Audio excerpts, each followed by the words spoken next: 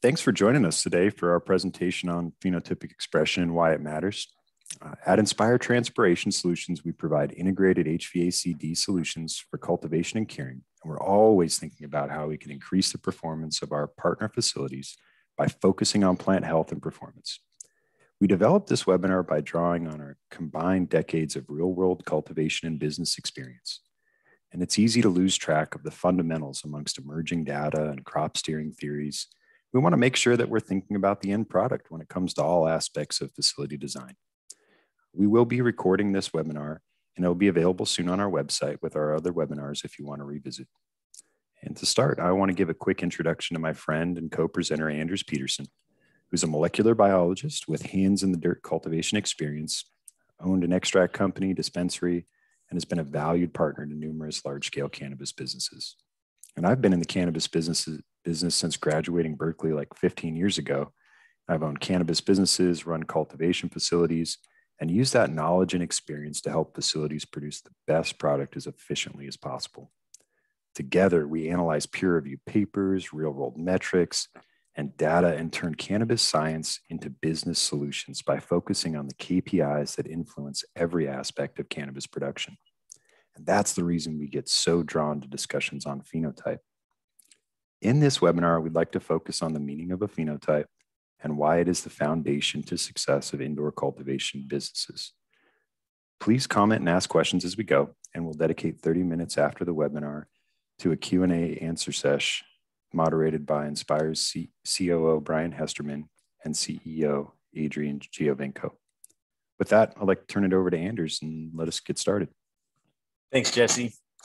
Well, I'm excited to be here today to talk about a subject that is near and dear to my heart phenotypes and phenotypic expression. And really, what we are talking about is the uniqueness of cannabis, varieties, and how we can maximize the expression of each cultivar. There are more desirable phenotypes and there are less desirable phenotypes. Then there are certain varieties stacked with so many desirable traits that it's like you just stumbled upon a unicorn. It's a keeper. Hunting through all this variety in cannabis to find something truly special is a huge reason why people devote their life to this plant, including myself. The variety keeps it fun and interesting. The smells, colors, effects, or how it grows. You might have heard of Skunk 1, Chem 91, Northern Lights 5, all the OG Kush and Girl Scout varieties. These names and numbers represent a unique expression of the cannabis genome. And we're going to explain how that works and why the environment in which they are grown is so crucial. Legends, brands, and fortunes are built on good genetic potential with maximum phenotypic expression. Let's begin with the definition.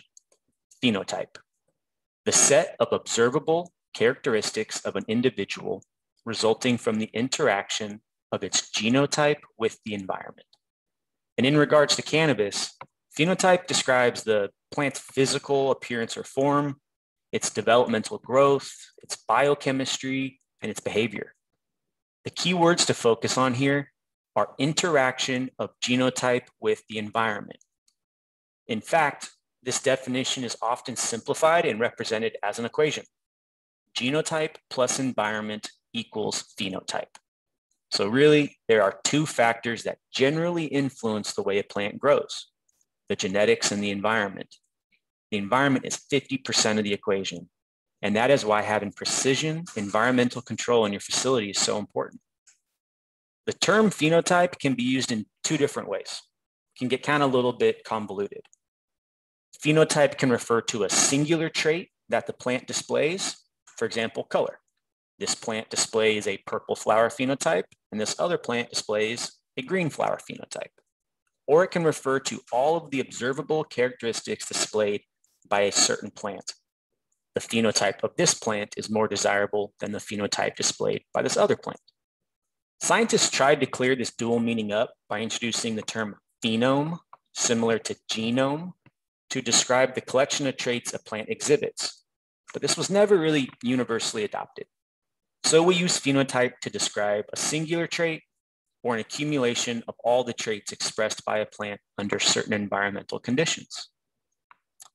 Another nuance to this definition of phenotype is the word observable, but that doesn't mean just with the naked eye.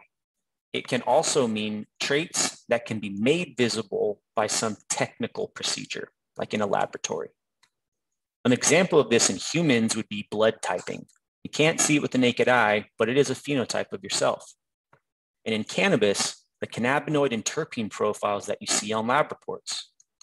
To describe the unique chemical expression of the plant, we use the term chemotype, or sometimes chemovar, which is the chemical phenotype. This is the cannabinoid and terpene quantities and ratios that a specific cannabis phenotype produces. Currently, there are about five broad classes of cannabis chemotypes based on the dominant cannabinoid that is produced. Now that we have a base understanding of what a phenotype is, let's dive into what a genotype is, a quick refresher on how genes are expressed, and some examples of how the environment can affect the expression of these genes in cannabis. What is a genotype? A genotype is an organism's complete set of genetic material, although it is often used to refer to a specific gene or a set of genes in a genome. Think of it as like the basic genetic boundaries which define a range of phenotypic possibilities. Just like humans, cannabis is diploid and has two homologous copies of each chromosome, one copy from the male parent plant and one from the female parent plant. Each chromosome in the pair contains the same genes in the same order and place along the length of the chromosome. These genes then get expressed into the phenotypic traits that we observe.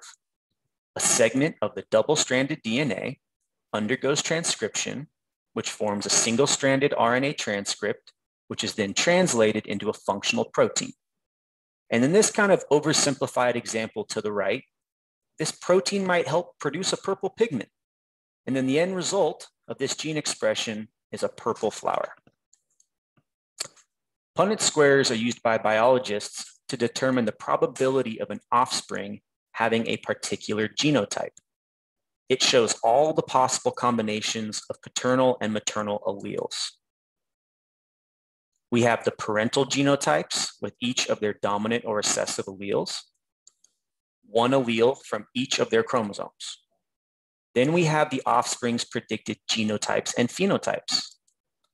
In this example, the allele for tall plant is dominant, so wherever we see a big T, the plant will be tall.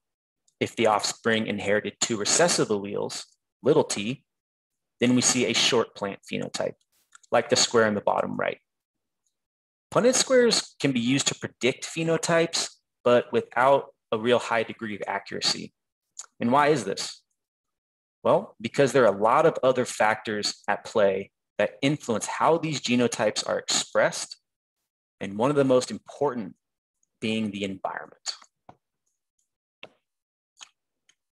Now, some traits are largely determined by the genotype alone, while other phenotypic traits are highly influenced by the environment. This can be described as phenotypic plasticity, the ability to vary phenotypic expression in response to environmental conditions. This is why you can give two clones with identical genotypes to two different growers and the end product could look completely different from each other due to the way the environment steers and influences the plant's growth. Plant growth rates, morphology, and timing of plant development are examples of some traits that are generally plastic. Anecdotally, all cannabis cultiv cultivators know that with tighter control in your environment, you tend to see higher yields and a more potent product. Now, each of these colored lines on the graphs below represent a genotype.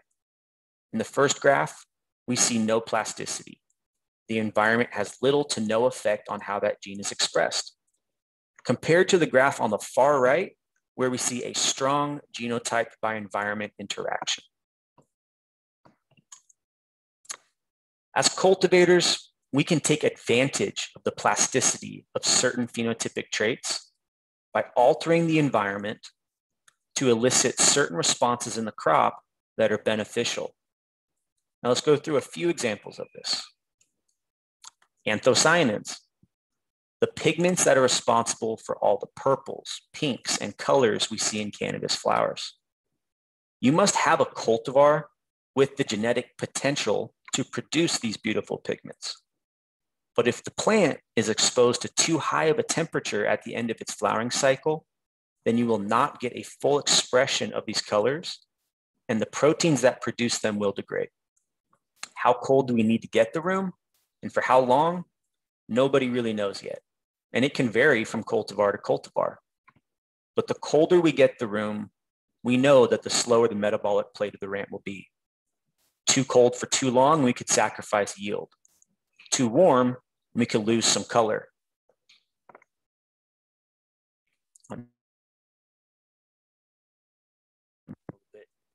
glitchy. Okay, let's try this again. So nobody really knows, and it can vary from cultivar to cultivar. But the colder we get the room, the slower the metabolic rate of the plant will be. Too cold for too long, we could sacrifice yield. Too warm, we could lose some color. Really, it's a delicate balance to bring out these colors in cannabis. Another example is the day to night temperature differential. With a warmer lights on temp and a cooler lights off temp, we have a positive diff. This promotes stem elongation or stretch. With a cooler lights on temp and a warmer lights off temp, we have a negative diff. This suppresses stem elongation. And for cultivars like GMO, garlic cookies, that stretch crazy the first three weeks of flower. We can use this environmental crop steering technique to keep them at a manageable height. Now, there are many more examples of environmental influences on phenotypic expression, but more research is needed to determine exactly which genes are influenced by the environment and those that are not. One of the most fun things to do as a cannabis grower is popping seeds and hunting for a new pheno.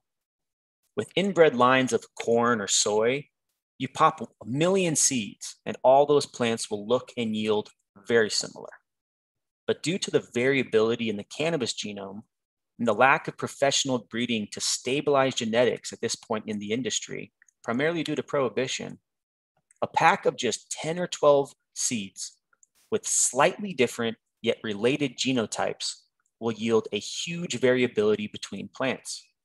Therefore, most growers utilize clones. But before you can use clones, you must find a phenotype with enough desirable traits to keep in your staple as a mother plant. So the process goes something like this. Let's say I get a pack of 10 regular seeds from the same cross. They all germinate. And then I arbitrarily label them 1 through 10 to keep track. They continue to grow and eventually start showing their sex. Dang it. I got four males and I'm not looking to breed. So I cull six through nine. Shucks. Number 10 was hermaphroditic, which is a sign of unstable genetics. And I don't want pollen in my flowering room. Let's toss it. Looks like on this pheno hunt, I have five females to hunt through. So they continue to flower and begin showing the full extent of their phenotypic expression. Three through five start showing some purple. One and two stay more green. Phenos one and two have a cakey terp profile, and three through five smell like I just opened my gas tank. But wait, pheno three is gassy and cakey. I like that. And maybe phenos one, three, and five had a pretty good yield at the end of the day but Pheno 3 had everything I was looking for. She is the keeper of the bunch. And I decided to call her gas cake number three. and that's a simple explanation of how growers go about hunting for good phenotypes. All of the popular phenotypes of gelato is another great example. Originally bred in Northern California with genetics from the cookie family and Mario Guzman, aka Sherbinski.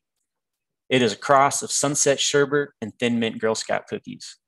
Then they collected all the seeds from that cross and hunted for phenos.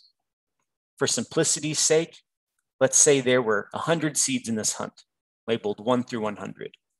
And it just so happened that numbers 33, 41, 43, and so on really stood out as being special. So special that they each got their own unique name. Gelato 33 became Larry Bird. And Gelato 41, my favorite pheno gelato, became Bacio Gelato. They had mother plants for each of these phenotypes, cloned them, and disseminated them throughout the industry. But again, do not expect to see this level of quality in every batch of gelato you pick up at the dispensary. It all comes back to the environment they are grown in. Now, there are so many other qualities to look out for in a good phenotype than just color, aroma, and yield. And this slide just shows a few of those traits that growers and breeders look out for. And with that, I'd like to pass the mic over to my good friend Jesse and have him take it away from here. Great info per usual, Durs. Always great to hear you talk about the science of phenotypic expression. And I think the gelato example you chose is a great one because it resonates with cultivators, brokers, and buyers alike. Think about sales for a second. Currently, the sell through numbers and customer preference is based on THC content and name recognition. For example, Gelato 33 could be worth three to $500 more per pound than Gelato 49. But why? It has appeal for a number of reasons name recognition and hype, bud structure, THC content, nose, color, and intense effects. But what if all of a sudden there was a discovery proving that the chemotype of gelato 49 was the best medicine for MS or a particular cancer? The entourage effect and the relational proportions of the secondary metabolites would increase its value. If that were the case, gelato 49 might now get you three to $500 more per pound than gelato 33, all based on phenotypic expression. And that's one reason why phenotypes, COAs, and environmental control are so important for the future of cannabis medicine and success in the cannabis marketplace. Here you see a list of traits that many people consider when breeding or selecting for commercial cultivation. I'll admit, I'm a trait chaser. And to be honest, I've chucked pollen, hunted, and done generations of line work to find cultivars resistant to broad mites in Oakland or root aphids in Colorado. I've chased faster finishing times, better production under LEDs. I've selected phenotypes because they rooted faster for my commercial clone operation or produce more THC and terps to win cannabis competitions. I've found genetics that produced higher yields above 5,000 feet and ones that are drought tolerant. And Anders always reminds me the importance of trichome size and cuticle thickness for my solventless extracts. The result of the laborious and time consuming pheno hunts led to healthier plants geared towards my environments, with better effects both medically and recreationally. These decisions have directly impacted the financial success of my cannabis businesses. Prioritizing the traits that have the most impact on your business plan and goals should be something you're always considering. And this brings us to key performance indicators. KPIs are how we benchmark the performance of our phenotypes and our cannabis businesses. It's a great way to determine the efficiency of your facility as a whole, as well as your ability to capture phenotypic expression. There are primary, secondary, and even tertiary KPIs that should be considered, but we wanted to focus on a few big ones here. First, let's talk about KPIs that measure quantity. Grams per square foot is one that we all know and use to measure yield how much biomass did we generate per canopy square foot? Another measure of quantity plus efficiency is grams per watt. How much biomass did we generate relative to energy consumed? And a third quantity KPI is leaf to trim ratio. A cultivar with less leaf will be easier to trim, produce less shake, and give you more sellable flower per square foot. These are great measurements, but the deeper question is did we optimize environmental conditions to get the most possible sellable weight from our phenotype? Next, we have KPIs that measure quality, like active compounds per gram, per watt, and per square foot. The question here is did we maximize secondary metabolite production relative to cultivar? And did we cure it appropriately to protect those desired compounds? The active compounds you collect will directly impact the price per pound of your sellable flower and your extract yields. Any buyer will tell you gelato that tests at 20% THC is just not as valuable as gelato that tests above 30. And any concentrate manufacturer will tell you it's fire in, fire out. Those are the market and production expectations from a phenotypic expression perspective. Another KPI is harvest cycles per year and refers to the length of time it takes your cultivar to finish. It will impact your speed to market and your plant flow process. Finding a phenotype that allows you to harvest one more cycle per year can transform a business. Maximizing quantity and quality will get you the lowest cost of production and the most efficient production facility. And let's be honest, anyone can get one good run, but the key to long term success is consistency. Consistent excellence comes from accurate data collection per cultivar and optimizing their expression with environmental control. Consistency is the difference between a good batch and a good brand. Consistent environment equates and equals consistent customer experience and predictable production levels. But these KPIs also speak to the value of a gram. What's a gram really worth? Well, it depends on who you ask. With 15,000 square feet of canopy and five turns a year and a $2,500 price per pound, one gram is worth $400,000. With six turns a year, it's $500,000. If you can optimize the genetics and get a few more hundred dollars per pound, one gram will be worth more than $600,000. Now, squeeze out one extra cycle with the right phenotype, and it could be $700,000. And remember, we're just talking about one gram. Phenotypic expression is key to getting you the highest price per pound possible and the best yield, but it also impacts your brand. Phenotypic expression is what customers are buying. And the stable of phenotypes you produce gives you strategic pricing per cultivar, like the gelato example we used earlier. But that expression also translates to cannabis awards, influences the price a customer is willing to pay, how much they buy, and ultimately the financial success of cultivators, distributors, and dispensaries. It also plays a major role in customer satisfaction, which leads us to the importance of, C- importance of COAs.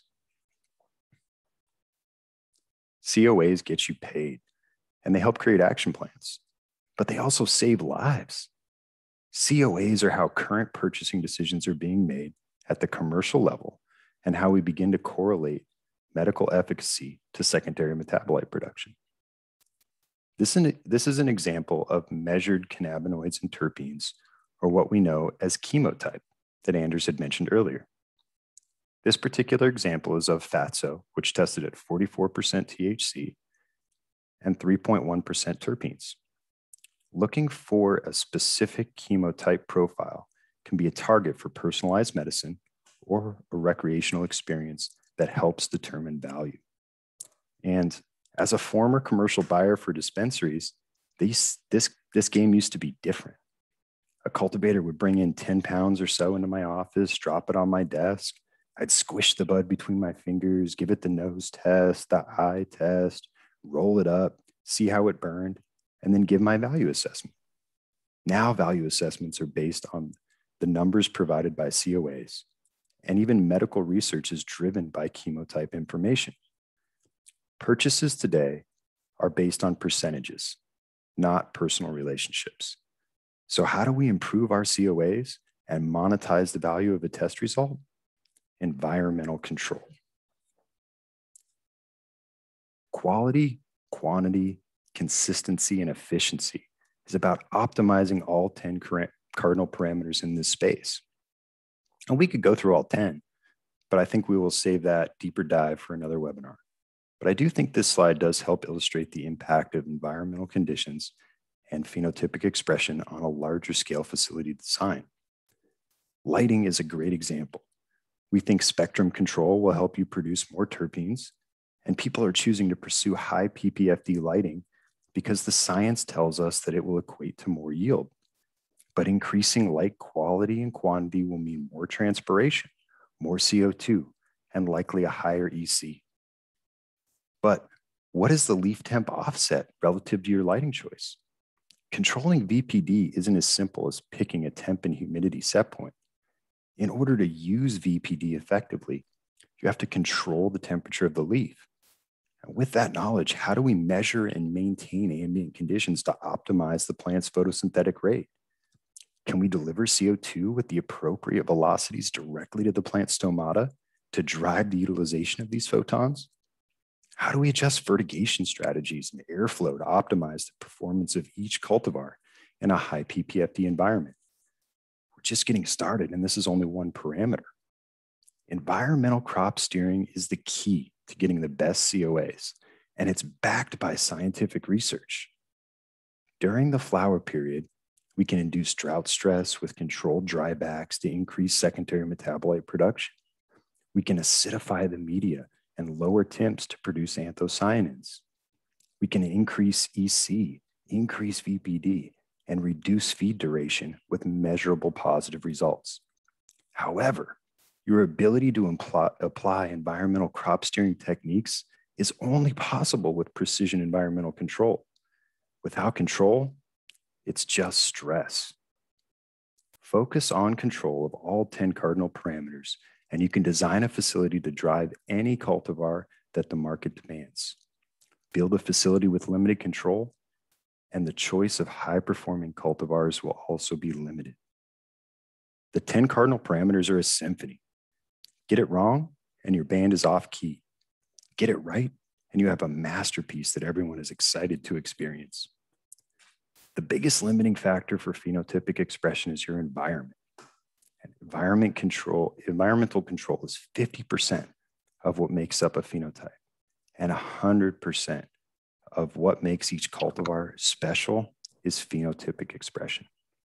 It's all about control and what you do with the control that drives plant expression increases financial performance. So that's why it's so important to think about these interactions when it comes to building your cannabis business with that, uh, I think we want to really thank everyone for listening to us talk about the plant that we love so much. And uh, obviously, we'd love to hear from the community on future webinars that we can dive into um, and express some experiences about. But from here, I think we're going to spend another 30 minutes or so to jump into some question and answers from the community. So with that, let's turn it over to Brian and jump right in. Thanks, Jesse. Thanks, Anders. That was really good, guys, and I'm super excited to jump into Q and A with you. Uh, as a reminder to the audience, please use the chat window to let us know what topic you'd like to hear about on our next webinar. Uh, already see some good questions coming in as well. Um, but to get things kicked off, uh, your presentation spurred a thought for me. Uh, it, it reminded me how closely plants are related to humans. I mean, essentially, we're talking about the evolution of the cannabis genome here. And it's just like the nature versus nurture conversation we have about children. Uh, a child could be born with the best genetic makeup, but without a good environment, they may never realize their full potential. Uh, so, with that in mind, I'm wondering what environmental parameters have the biggest impact on phenotypic expression? Well, first of all, I love that analogy you made with your kids. And one thing I like to think about with plants versus people is there's a lot of corollaries, but people can are mobile and plants are sessile. So people can move out of undesirable environments into a more preferable one. But plants have to have all these mechanisms to adapt to poor environmental conditions. Now, which environmental parameter or which parameter in general um, has the most influence? I wouldn't say it's just one. Like Jesse said, with 10 cardinal parameters, to me, it's a symphony of balancing all of them into the right parameters and ratios to get the maximum phenotypic production. Yeah, I mean, I think it's dangerous to focus on one. They're all so interconnected. I mean, it's so easy to get excited about Instagramming your lights or your racks or your fertigation skid or the cool facility you've built, but it's the interaction and how one influences the other when we talk about these parameters that really ultimately give us the phenotypic expression. So you can't adjust one without the other, and understanding that relationship is just as important in investing in one wholeheartedly. Mm-hmm. Yeah, that, that makes sense. Uh, I guess it's part of the the challenge, the huge challenge and, and the potential reward that uh, cultivators have, um, just because there's it's just such a multidisciplinary challenge and there's so many parameters to take into account. And it's also genetic specific, right? It depends on the, the parameters depend on what genetics you're growing as well. Definitely. I mean, you can have the coolest irrigation, most precise irrigation fertigation system ever, but if you can't control temperature and relative humidity, you can't drive that transpiration rate, um, you know, move nutrients throughout the plant and just drive the metabolic rate of the plant in general. So it's a, it's a limiting factor game really.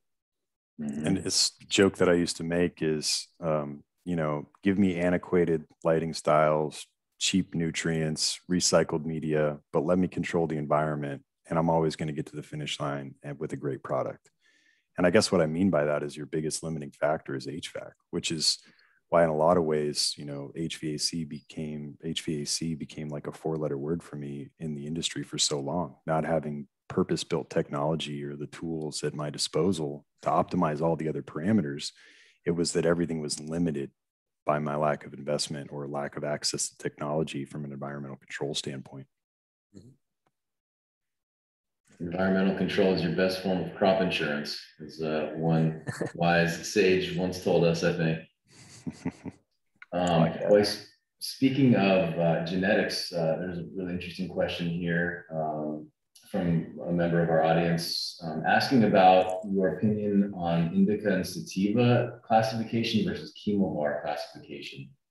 Uh, mm. do, you do we already see a shift in the industry towards chemovar classification versus the traditional indica versus sativa ge- geography type of classification? Yeah, that's a great question.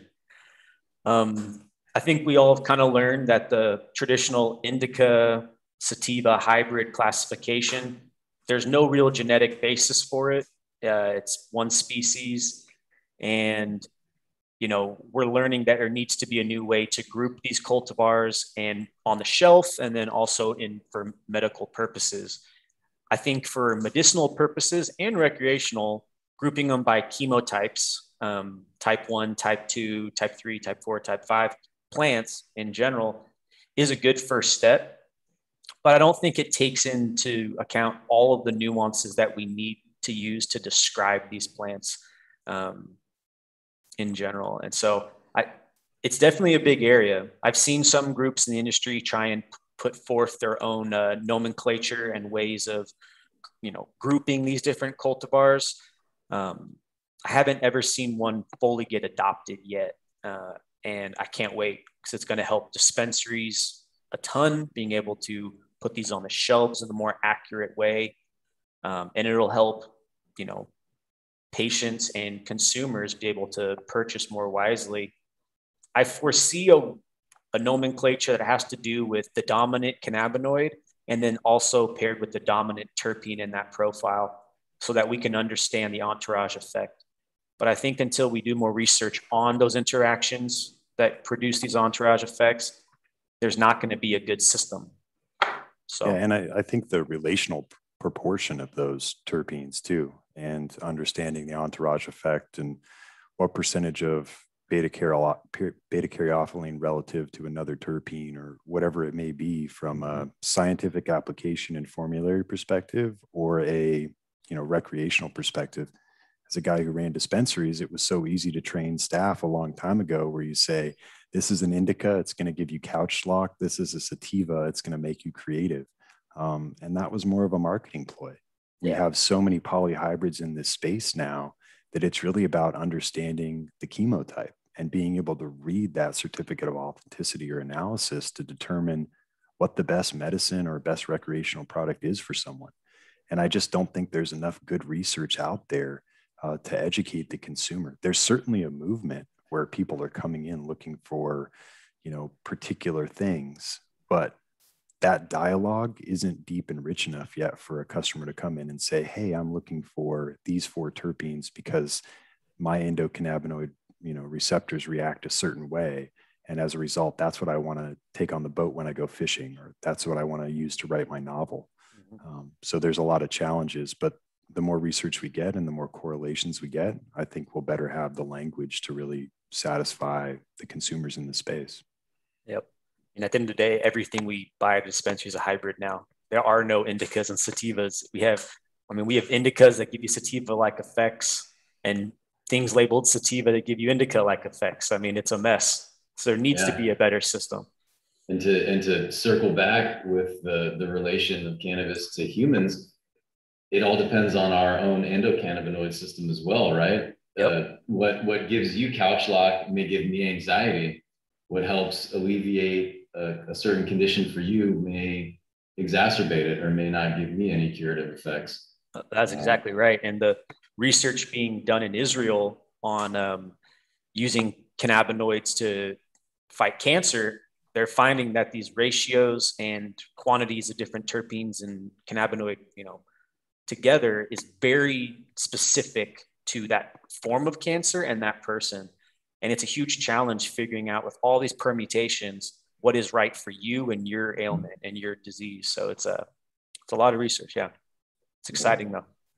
Time. I mean, there 140 or 150 different cannabinoids in cannabis, and we're focused on two or three of them right now. Well, that's because of prohibition, right? I mean, we accidentally selected for high THC cultivars for decades. And now we're having to bring back those other genes and get them expressed in higher quantities. Um, yeah, it's just going to take time to catch up. Yeah.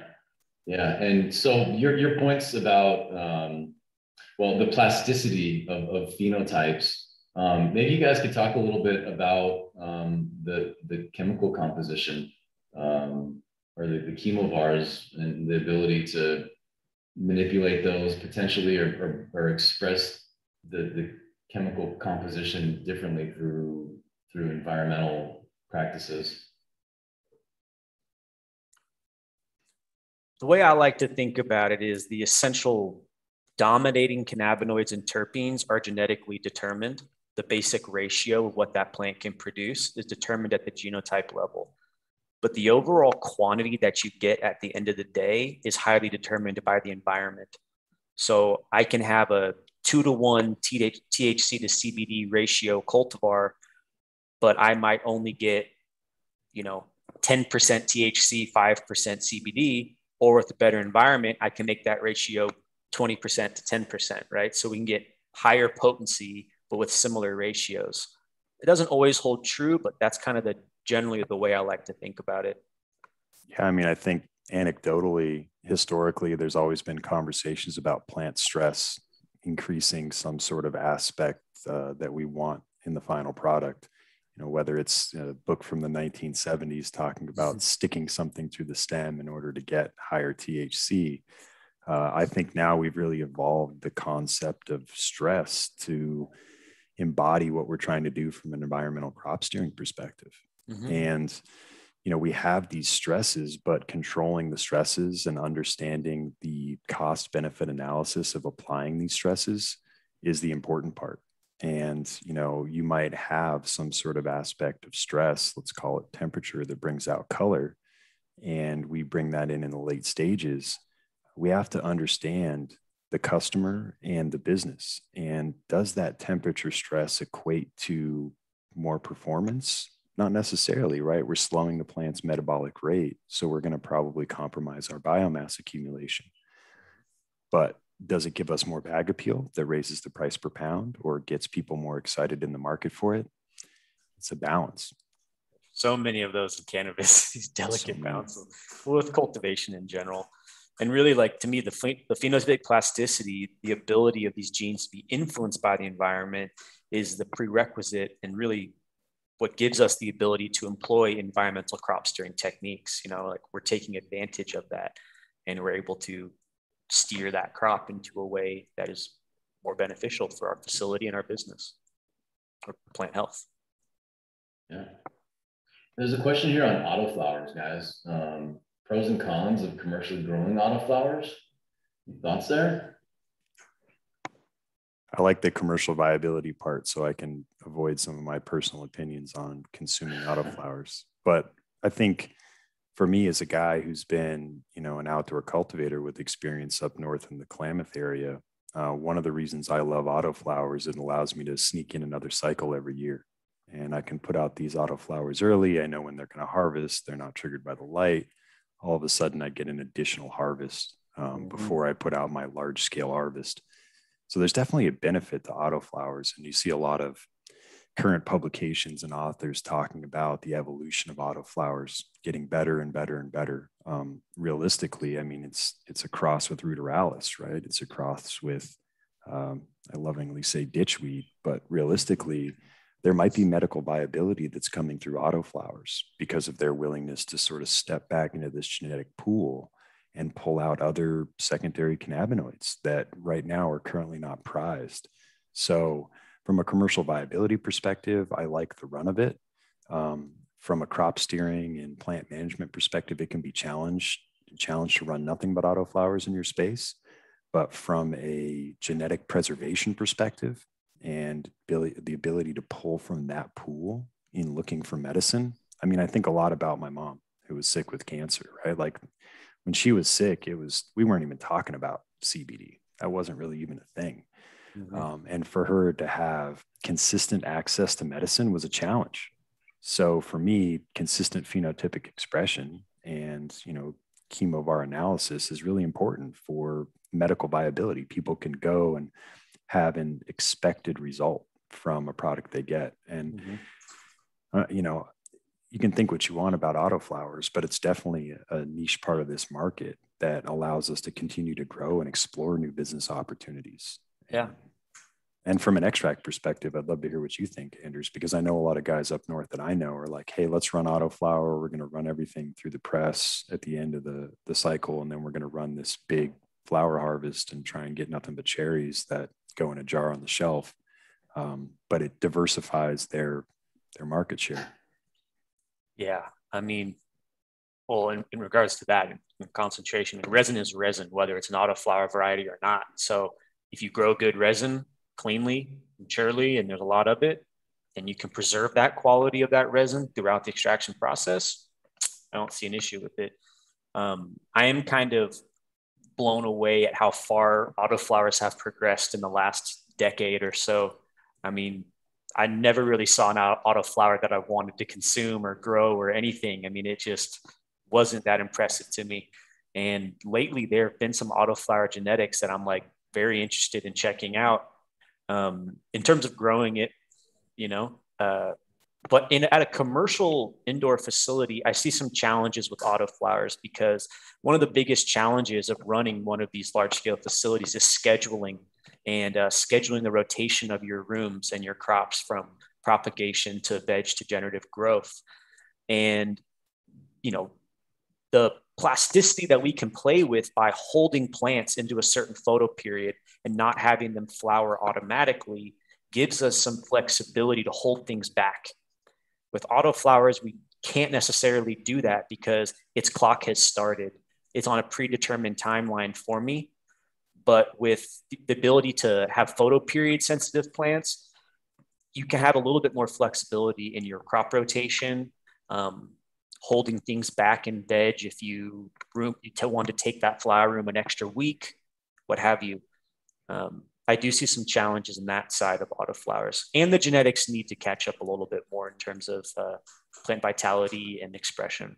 I think that's coming, but I also think about sort of how people go about you know the autoflower process and it's usually trying to find feminized seeds and popping these feminized seeds and I think in a lot of ways, because you don't have this genetic mother stock for consistency, you're going to have genetic variability until we get a higher progression of breeding in the autoflower in the industry as a whole. Um, it's hard to pop 200 autoflower seeds and expect them to all be the same. Yep. So that's a challenge uh, from a go-to-market strategy as well. Totally. Yeah, interesting. Um, well, maybe we can uh, shift gears here real quick and um, talk about some, some facility specific items. Um, what, what are the highest impact items to consider to maximize phenotypes in the new facility? Highest impact items to maximize phenotypes in the new facility. Well, first and foremost, you have to have good genetics. right? You, you build this golden spaceship of a facility, but if you don't have good genetics to put into it, then there's not much you can do in terms of maximizing phenotypic expression if they're just poor genetic samples to begin with. Other than that, to me, it's about control. Having control of all of those parameters and not just some control, but as tight of a control as you possibly can. Um, there's challenges with that from a business standpoint because the more control and automation and data collection you get, the higher the capital expenditures are to start that business. You also tend to then with, see a higher capex, a lower operating expenditures for that facility. But you know, the control is going to cost you something, but you're going to get that back by with the maximization of these phenotypes and the increase in yield that we see. So to me, it's a trade-off that in the long run is really worth it. You know, investing in the right equipment to control all of the parameters. I mean, the, the HVAC, the CO2 supplementation, uh, your lighting type and, and lighting layout, your irrigation fertigation system, everything. And then there's the construction of the facility itself, making sure it's well sealed, clean. We're not bringing things in that are going to harm our crop. All of those things go into maximizing your phenotypic expression, getting the most out of that crop. I, I think you're right. There's like, you know, everything is a balance of, you know, cost and value and understanding what the the end goal is. But I think one of the things that gets overlooked so often is labor yeah. and SOPs and training. And oftentimes we think, oh, great, I built this facility, I have these great genetics. Well, who's actually going to grow the plants and how do you train them? You know, mm-hmm. what is your IPM application strategy and who's going to do it? How are they going to do it? When are they going to do it? What's your cleaning procedure? With what? What's your trimming procedure? You know, mm-hmm. all these things have. How many times does it get touched in a whole cycle? You know, all these things affect the end consumer experience. And uh, I think it's important to factor in labor and training. And um, I think we see a lot of opportunities in the space to continue to refine the training of this industry. But I've also seen a ton of growth.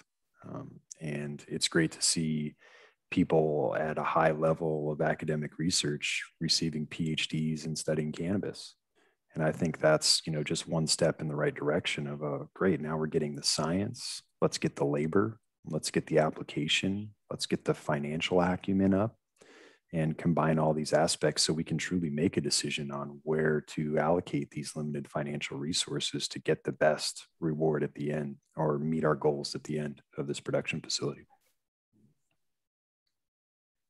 great great to piggyback a little bit, um, what, what's the best way to measure leaf temperature? Infrared, FLIR camera, something else? Best way to measure leaf temperature. Well, here, you can definitely use infrared thermometry, like an IR gun. But one thing to keep in mind is that if you go and buy one of these from Home Depot to measure the temperature of your canopy, they're typically calibrated for drywall um, to measure the temp of the drywall for contractors. So there's an adjustment called emissivity, and you have to adjust the emissivity rating on these IR guns to be able to get an accurate temperature reading on a plant surface. I found from reading white papers and stuff that about 0.97 to 0.98 is the right emissivity setting for these IR guns to get an accurate temperature. However, this is not an automated process and you can't get real-time reading. You know, it's a spot check. FLIR cameras or thermal imaging cameras are a great um, target for automating that process and getting real-time VPD calculations. But I think that there needs to be some further R&D to refine that technology. The angle of the camera plays a big role in getting accurate readings, the distance from the canopy, um, the height of the lights, um, and plus it's a lot more expensive than one of these, right? And so you have to think about costs as well. Um, what does it cost someone to go in and pay a, a labor to go check your temp and record it versus a real time reading, right? So think we get the cost of those FLIR cameras down and re- refine the application of them on, on these, these rooms. That would be a really good target. I think another thing to think about too, and we talk about this all the time, right, is canopy cubic footage and which leaf are we measuring? Yeah. How deep into the canopy do we go? How do we come up with an appropriate average? You know, it's it becomes such a challenge mm-hmm. um, in really understanding real time leaf temperature data relative to airflow and homogenization of the space relative to leaf temp offset to light. Um, so for me, it's almost like it's a constant that needs to constantly be recalibrated. I mean, like you mentioned, the distance from the light, right? So that means even if we have one lighting source and we understand the offset at X amount of feet, as those plants grow, that offset becomes different. Mm-hmm. Um, and what is the real focus? It's just another part of plant flow process and cultivation techniques and canopy management to try and get that canopy as even as possible and understanding the depth of the canopy and the penetration of the light. Um, there's a lot of factors. It's not as simple as just running or poke your head in the room and see the first leaf and shoot it and know the leaf temp offset. It's about trying to understand that room as a whole and the canopy as a whole. And I saw someone throwing a link to an, IR camera. Definitely an option as well. I haven't investigated that as much, but any way that you know infrared thermometry is very similar right this is just a gun we can also use cameras to do it and that could be a, a great technology as well to investigate for real-time vpd readings um, quickly maybe you guys can touch on um, explaining uh, how the different HVAC conditions affect the crop and how tight control is required in terms of temp and humidity I think this is a pretty good one. I mean, there's a several different angles here. And my mind first goes to the accuracy of the sensors and the data that you actually collect. Mm-hmm. So we have all these different parameters that we can control, and they're scientifically backed on the actions we take and what the final product should see. Um, but it's so easy to just, and we, Anders and I talk about this all the time because we have such different experiences in the cultivation space. You know, the first thing I'm going to do when I go into a space is read the plants. The first thing he's going to do is read the data. And then we're going to switch and we're going to make sure that there's a correlation there. And that's some of the challenges that we've seen in this industry is sensor drift and lack of recalibration, lack of accuracy of certain sensors, sensors that are affected by IR in the room or heat in the room or light in the room. Right.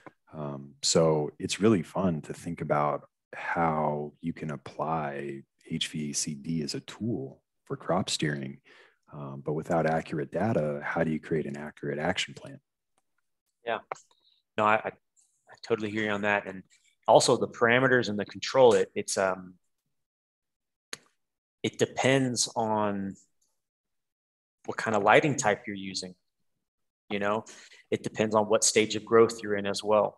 I mean, obviously, one of the biggest challenges of controlling an environment in indoor growth. Uh, I think your mic just cut out, buddy. Looks like the video feed just froze as well. We lost Anders. Environment in indoor growth. Uh, you know. There he is. There I am. Okay, cool. Sorry about that, guys. Um, I was going to say one of the biggest challenges of controlling environment in an indoor grow is uh, the lights off to lights off transition, right? We have all that sensible, you know, heat and sensible load when the lights are on. And when it goes off, we get this huge spike in relative humidity. And it's not high relative humidity that's going to give us mold. It's going to be those big swings in relative humidity that's going to mold our crop. And so having equipment that can control that spike during that transition is a, a great tool for IPM uh, and just to make sure that this plant is seeing the right environment every minute of every day right? That's the goal of an indoor grower is to basically provide it with the perfect environment every minute of its entire lifetime.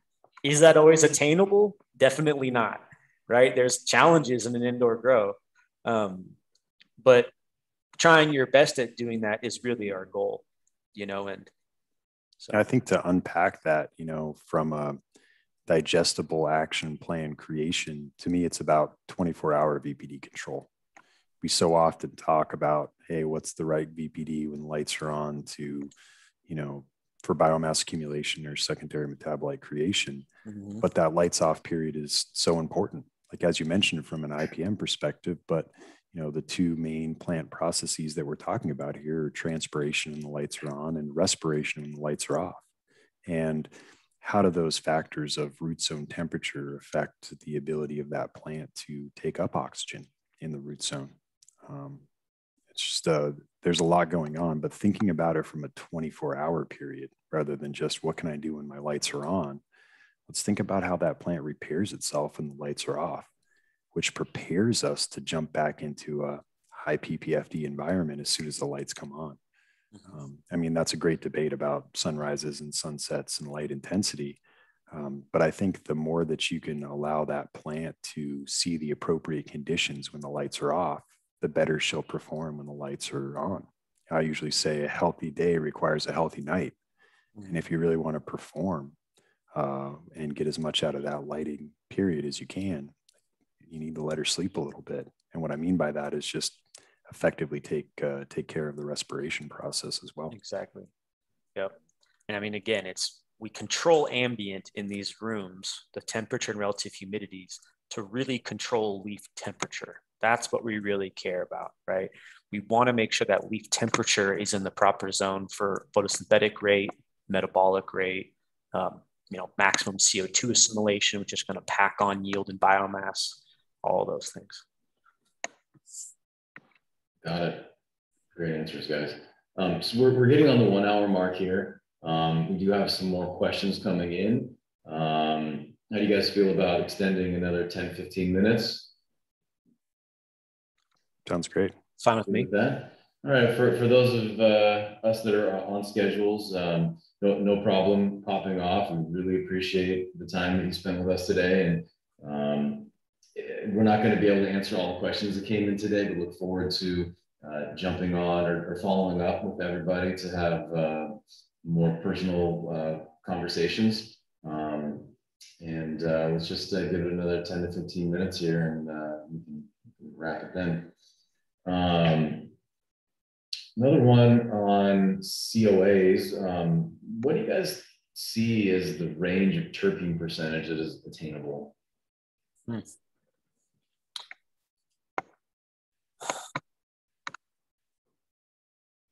I don't know if we know the upper limit yet. What's I, the highest result you've seen? I think it was like four something. I don't know. Have you seen anything higher? Like, have you seen any five percent? I've seen a significant amount of fours, especially recently.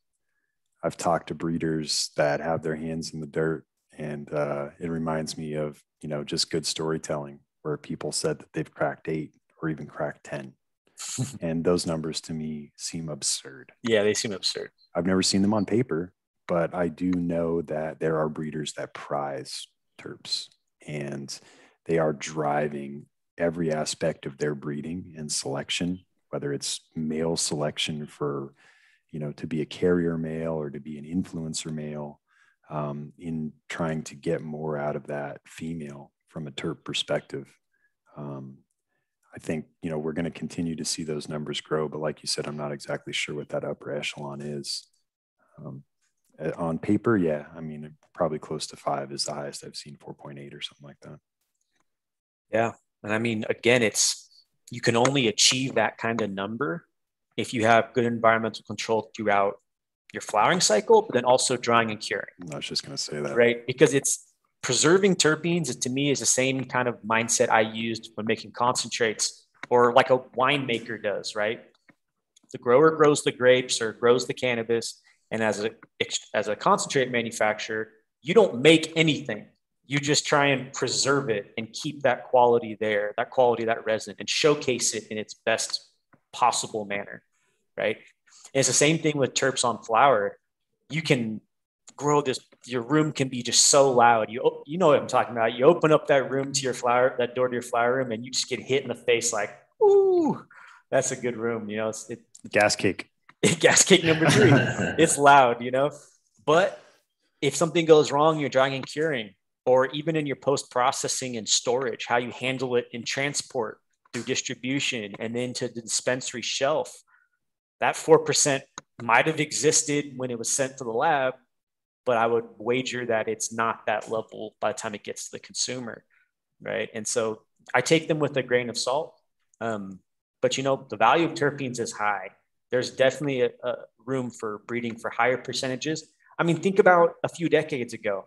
Can, cannabinoids were back in the 70s were only 8 to 12%, right? Cultivars would be 8 to 12% THC. Now we're seeing stuff 35, 40%. And yeah, we can argue about moisture content and how that affects that overall potency, but still, it's crazy how far we've come in terms of the potency of this plant. It's kind of insane. And now that the last, you know, five, six so years or so, a huge focus has been put on terps and terpenes. It's a, uh, I'm sure we will see those numbers grow over time as well. Who knows what one gram can actually hold in bud? Like it's insane to think about. It's funny too. I remember the first time I cracked 30%, I was so proud. Now I'm like embarrassed of those test results considering where the community's at. It's like, I was like, yeah, man, I cracked 30. Now I'm just like, you know, you need to be shooting higher than that, yeah. considering the genetics and the level of control we have. Yeah. The, show me a test result at 40% THC with like 12, 13, 14% moisture content. That's really impressive. That's what I just showed. That's I know. one of the reasons I shared it. And I think the gamesmanship of that water content is really important here reading those COAs and understanding what they really say, like you do need to know the moisture content because, you know, 4% moisture content and 44% to me is not nearly as exciting. Mm-hmm. I know what the bud is going to burn like. I know that it's going to be dry and crumbly.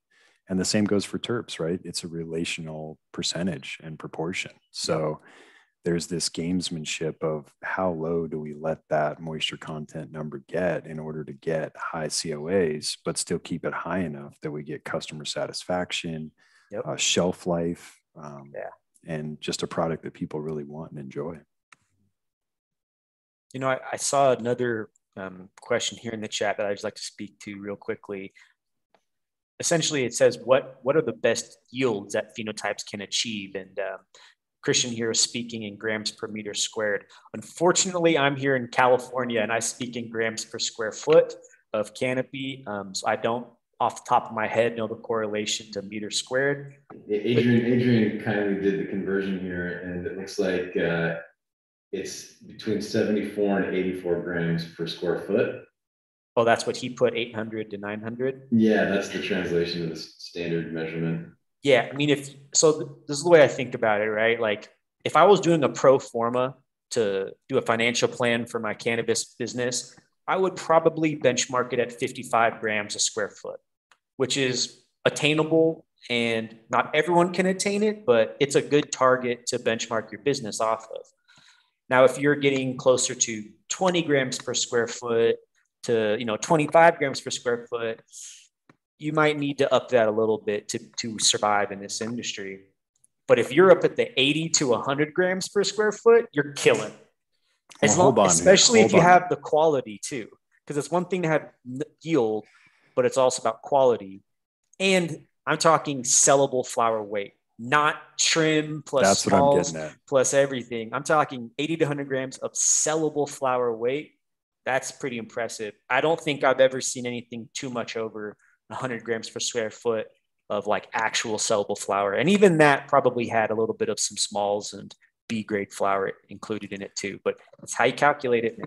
And that's the importance of like understanding what the baseline for measurement is, right? We talk about this a lot too. With people throwing around, oh, I got a hundred grams a square foot, and then you realize they were measuring fan leaves and stem, yeah, exactly. and all this other stuff. That like, come on, man, that's not going to go to market. You can't count that in the calculation. So really understanding what in what went into that and do you derate your smaller buds you know things like that. They're they're big factors in trying to get everyone on the same page for communicating what a good baseline would be totally. um, or what a high level you know wh- who's going to win that game is the person that really understands what is actually going to market how to measure it and putting together a historical crop steering techniques per cultivar that allow you to achieve it. Totally I mean, this even kind of reminds me of the discussion we had the other day around, um, you know, accounting practices in cannabis too, and how there's just so many different ways to report this information in a financial statement as well. It's like the same thing when we're talking about how to report our yield in grams per square foot. You know, there's a a lot of non uh, you know, generally accepted accounting principles that are applied to cannabis financial statements as well too. It's, it's kind of, we still have a lot of things to figure out. That's a good point. Absolutely. Well, should we, uh, I'm thinking maybe we cap off this, uh, conversation with, uh, a question regarding growing media. Maybe Je- Jesse let you scratch your microbe itch. Ah. Don't get him started. oh man. That's why we're doing it at the end here. Okay, good, good call. All right, so um, high level thoughts on hydroponic versus soil grow, growth media methods. Um, in terms of the highest quality of product, are both methods capable of reaching same or similar high quality end results? Um, just wondering if using hydroponic growth methods limits certain phenotypic uh, or phenotype expression in some cultivars. Um, if you're asking the plants to perform in an environment that is unnatural. Limiting the phenotypic expression of your plants by growing hydroponically? That's you know, that's a super loaded question that we can unpack Yeah. 15 different ways. And the way I think Anders and I talk about it, because I- I think as most people that know me know, like I love soil, I love microbiology, I love thinking about inoculating fungal colonies and nutrient cycling and the accumulation of molecules in the plant as a byproduct, microbes as pest defense, microbes for systemic acquired response. All these angles that microbes bring to the party doesn't necessarily mean they can't be included in hydroponic production. I think the part of differentiating hydroponics and let's call it a soil based approach is the level of control and understanding you get. It's very challenging to understand. Let's say you do a you know a soil test or something like that to understand what's in the media. That doesn't necessarily give you all the tools you need to truly crop steer from a fertigation and control perspective. It's about response time when you're making that decision. So, in a hydroponic or quote unquote sterile media, you have the opportunity to control those variables with much more precision. I think that that creates an opportunity for you to potentially make mistakes. Um, and considering we don't have, you know, we're still, there's still emerging data. It's hard for me to say I'm 100% in the camp of nutrient salts and rock wool. But at the same time, I respect the fact that there's controlled, measurable applications that we can predicate action plans off of. Mhm. Um, the management of soil and soil re- recycling and recycling media can be incredibly challenging. Um, and when we have a hydroponic media, it's so much easier to say, all right, we're done with this run. Now we're starting from scratch again. And you have a blank slate to write your poem uh, and get this plant to market. Um, but I don't think that that necessarily means you have to exclude microbes, which is a whole other conversation. I just think from a crop steering and application standpoint, um, soil is more of like a very wide or very long tarmac for you to be successful on without precision measurable control. Whereas a hydroponic approach is shorter tarmac, but very measurable. So if Well, something it's goes also about buffering in terms of risk, right? I mean, your plant is going to be somewhat safer in soil to an extent if something was to go wrong in an indoor facility. It provides more of a buffer to the plant. Um, but it, the, the downside is then the responsiveness in eliciting certain crop steering techniques. You know, vice versa.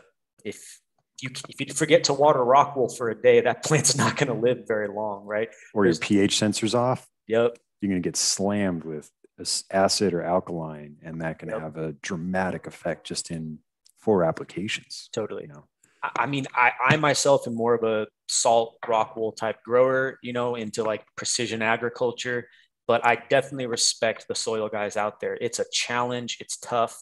To me, it's hard to duplicate and make consistent run to run, even though it, it is possible. Um, there's a lot of benefits of soil. Uh, and I've seen some wonderfully grown living soil cannabis. Some of the best flower I've ever consumed has come from living soil grown you know, you know, media. But from a reproducibility, efficiency, cleanliness standpoint, it's hard to beat, you know, hydroponics with more of a sterile media. Um, you know, it, it's a give and take. It's really a preference thing, and it's about, you know, and it's a science thing. and we need more yeah. scientific research to truly understand what's going on in these organic soil-based medias to apply it.